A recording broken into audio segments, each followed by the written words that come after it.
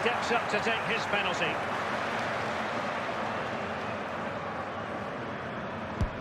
And he's been denied from the spot by the post. And that goes down as an effort that he's not going to be remembering fondly. And it's got in. Composure is so important under these trying circumstances. And he succeeds in finding the bottom corner. And he steps up to take the shot. Job done from the spot.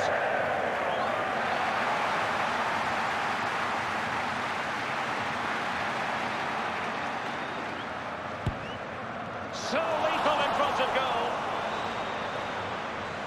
Mental preparation is such a big part of this. He had to score, and he does. It won't be lost on him what's at stake here. He knows he's got to score.